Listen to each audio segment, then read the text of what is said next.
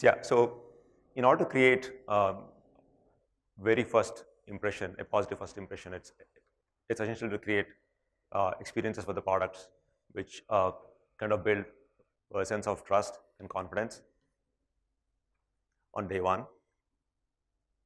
And to build on that, on day two, it's really essential for us to make sure that we build uh, experiences for not, not just day one, go beyond day one, day two, day three, and then make sure that entire service experience is well taken care in order to build on that trust that we've built on day one. And Apple, as we all know, uh, has been championing this ever since, and then they have been building customer confidence and trust, and now they're well known as uh, the most trusted companies in the world. But why trust? I mean, why trust? Why trust in this age of emerging technologies? And then how can we make sure that we, we, we continue to design for trust? So previously, most of us used to uh, purchase things from vendors directly. So what it actually meant is we used to know them really well, very well familiar with the people, and that's the very first step to build trust. But lately, uh, with retail coming in, way, I'm not en endorsing this brand. I'm not really sure if uh, this brand is trustworthy or not, but with, with uh, retail coming into the picture, I think that gap is widening? And moving further, once the goods got online, the gap has increased further and reliance on systems in between which enable that communication and transactions have increased a lot. Amazon has been championing this cause of this, right? So Amazon's experience, as we all know, I think they, they make sure that the experience is top-notch end-to-end uh, by making sure that each and every touch point is taken care in that sense, from day one, day two, day three, and beyond. And how does this translate uh, to something that we are all facing these days with emerging technologies? So trust in the consumer world with emerging technologies as in, please. So this is something that we all face these days, right? So with in, internet connectivity going wrong on and off, which we've just seen, right? So um, what would you guys do when this happens? Either you call customer service or before calling customer service, you would want to do a self-service all by yourself. In order to do that, you need to be well equipped with all the tools, uh, all the things that you need to know to fix that problem to start with. But more and more, technologies and companies who, who believe in building trust, they make sure that they are embedding those things that you need to know into the product itself. So in this case, in, in, in case, in case if your Netflix experience breaks because of connectivity, they have embedded those steps that you need to take care as to fixing the problem. So that goes a long way in building trust in, into the product.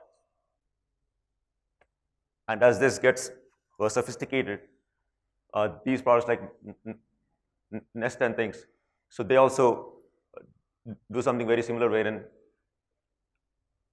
they give you visual guidance about the problems that you could face. So which means they're anticipating the problems way ahead in advance. And then it's, it's, it, it's these four problems which happens to be the most common problems with Nest. And then they give you visually guided uh, troubleshooting experience. I think this we are all familiar with right now, right? So I think this example has been taken multiple times. Anybody any guesses about this?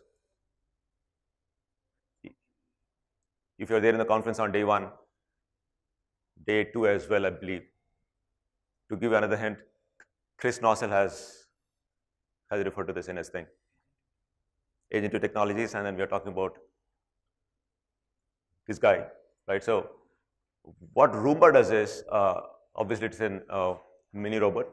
They have built in a language within Roomba, which is based on sounds. So if anything goes wrong, it beeps once. It beeps twice means uh, something else has gone wrong. Beeps thrice means uh, something else, something else. And also it gives you audio clues to how to fix the problem. Uh, so what it all means, right? So, so, the, so this uh, troubleshooting technological issues in the consumer world, which is on, on one extreme, and on the other extreme, it is this complicated technology which is getting further and further complex. What it actually means is these companies are kind of relying more on intelligent machine analysis to enable fixing all these problems, right? So that humans don't have to do analysis. They embed this intelligence into, into the machines and then that way they are building trust. And we have taken those lessons, right? So not just building trust like that, but in case if it needs uh, you and me, consumers to take a phone call and call support, uh, support folks go a step further, right? So they don't even, uh, don't just fix the problem, but they also make sure that they, they do follow up and make sure that the problem doesn't come up. Uh, so it, it is these kind of essential element, uh, experience elements we need to embed into our design going forward so that uh, consumer experience in the new world becomes all the more seamless and that way we can build trust. So, uh, so these learnings we have taken back to uh, the product company that I work with. Basically, I work from uh, California. I work for uh, infrastructure IT company, which is trying to build advanced cloud, advanced cloud technologies. So we have taken these learnings into our thing, and the target user for us is the enterprise IT administrator.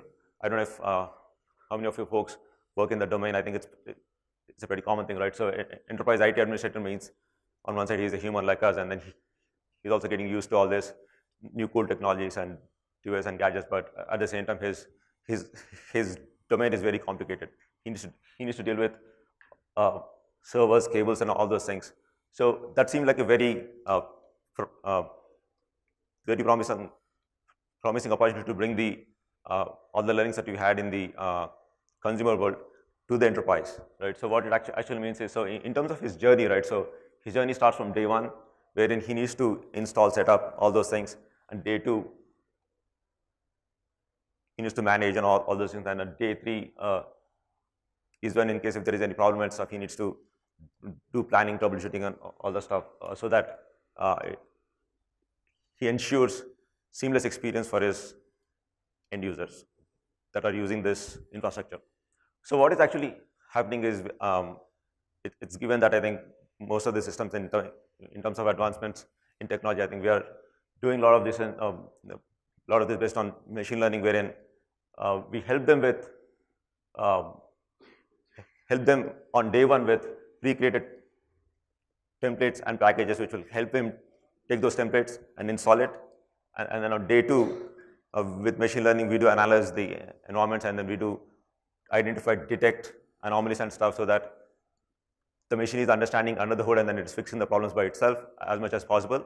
Uh, and on day three, it is not just fixing the problem, but it's also recommending the requirements that you need to have so that you can support your uh, changing requirements in terms of um, uh, the uh, resources your end users need. So resources in, in this case are nothing but how many computers your uh, end users needs, uh, um, uh, CPU, storage, memory, all the stuff to keep it simple like that. I don't want to get too deep into that, but all in all what I mean to say is I think with machine learning, I think we are helping this space to um, simplify the case, get the problems fixed, and then uh, scale up automatically. So we, which actually gives these admins enough time to focus on their life and their goals. All in essence, I think this diagram tries to summarize how risk and trust go hand in hand because risk is an important factor we need to deal with, it, uh, especially in the case of this domain that I was talking about. If machine takes actions by itself, it might take those actions, uh, some critical actions which might be detrimental to the entire setup. It might result in cost, failures and whatnot. So there I think uh, the approach right now that we are taking is to, to automate certain actions which are low on risk but high on yield. Right? So uh, in that way risk and trust to start with they are inversely proportional but with um, machine learning and design thinking as I mentioned I think we are uh, trying to drive it towards a point wherein they both converge, not only converge but also cross each other, right? So uh, that uh, trust and risk they meet, and then machines should be able to do more advanced things. So to start with, they're doing basic basic rudimentary things, but going forward, I think uh, as you understand things more, I think they will be able to do more and more advanced things. But in order to do all this, in order to do all this, I think we as designers will continue to use the same approach that we have been using for everything else right? Everything else as in any products that we design, any services that we design. Design thinking is still the key. that first step in there, right? So first step in there wherein we still need to understand what is all about, even in the machine learning world, autonomic, autonomous world. We need to understand and we need to engage more with the engineers and product managers to understand uh, the data behind the scenes, the data technology behind the scenes, and then be and then participate with them to uh, define the experiences so that we solve the problem. So, so the role of designer is more crucial now uh, in this emerging world, uh, so that we need we need to drive it inside out.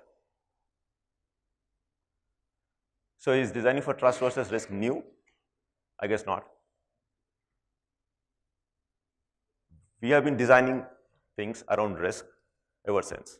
So this is the uh, 12th century kitchen wherein uh, humans have, be, have been designing things, controlling things like fire and everything from those days to our convenience and build trust in those technologies to start with. So this is where I think we have, we have tried to contain and control energy and then use it for our needs accordingly. And by good design, I think we are not just controlling those, those things, but, but also building trust in technologies. And this is the very first email that got generated, right? So uh, most of you probably know that, right? So, um, but in here the risk was uh, security. Uh, um, main risk was security. With design, I think it has evolved over a time, uh, over a period of time, and uh, and still are successful in uh, successful in retaining the trust factor in this. And not just that, in not so distant future, so this is a poster from 1950s advertisement, which is interestingly, it is being published by an electric company, electric company that is uh, that has en en envisioned autonomous autonomous cars back then.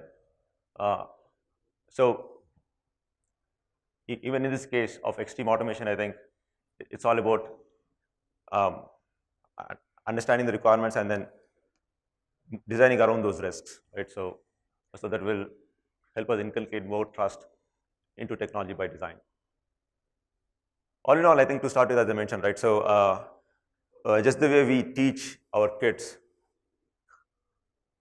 how to take risks by doing the actions by themselves to start with, low risk actions.